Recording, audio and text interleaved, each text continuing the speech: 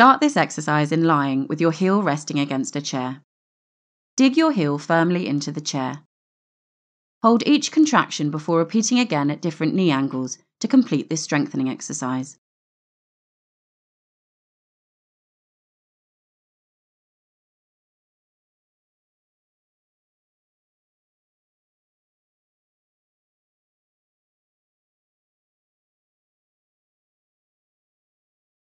Ensure the movements remain isolated to your knee joint throughout the exercise.